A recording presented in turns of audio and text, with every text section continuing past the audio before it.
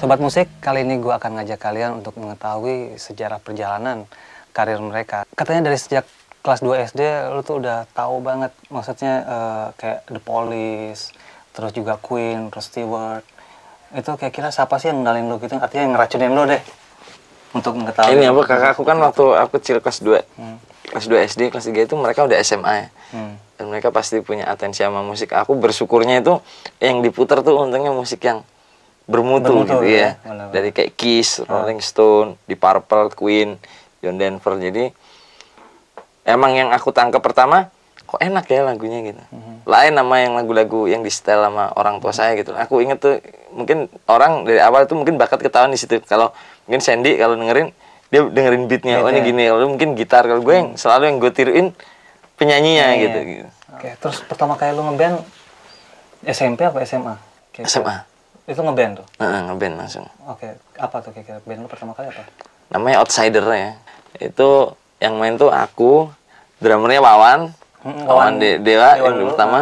terus gitarisnya Piu. Yuk. Piu yang main bass ada temen gua Galih namanya. Eh? Waktu SMA tuh ada tiga band ya Outsider. Terus kalau untuk main di luar yang dapat duit itu sama Los Angeles. Yang satunya lagi yang Hmm. sama Dewa tapi belum Dewa namanya. Mereka masih mainin musik Melekat. jazz downbeat terus begitu gua masuk Oh, downbeat, itu ya? baru ini baru baru mainin musik-musik apa pop rock kayak Toto gitu ya Hmm. Toto Bad English waktu zaman itu kan itu Kapan lu memutuskan supaya jadi seorang musisi? tahun 94 gue keluar dari Unair semester 7 gitu dan lagi yang Dewa kan basecamp di Jakarta jadi Hmm. nggak mungkin gitu bolak balik Bolak balik ya. sementara gue orangnya susah ngatur waktu akhirnya gue putusin di musik deh di musik aja.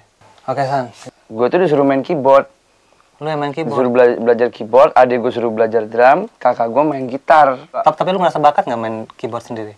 Enggak, justru gue gua ngerasa banget bahwa gue tuh dipaksa gitu untuk main keyboard dan gue memang memang nggak suka gitu. Hmm. Karena ya itu tadi gue ngerasa bahwa main keyboard tuh susah gitu. Hmm. Ada nada do re mi fa sol itu ada. Dan kok main drum tuh kayaknya enak gitu. Laki banget dan nggak susah gitu. Hmm. Lo nggak harus tahu nada segala macam. Dan ternyata pendapat gue tentang drum itu ada benernya ada salahnya juga. Oke, sebelum lu mendirikan UCAM, lu apa sih eh, grup apa yang pernah lu mainin? Gue dulu juga pernah ngeband sama Rido Seleng tahun 8 Rido Seleng dulu. Iya, ya anaknya bete banget. tahun 89 gue ngeband sama Rido itu boy- eh, terus eh, saya itu bubar. Hmm. Terus eh, saya itu gue bikin band lagi sama Abdi. Abdi dari Seleng juga sama Iram.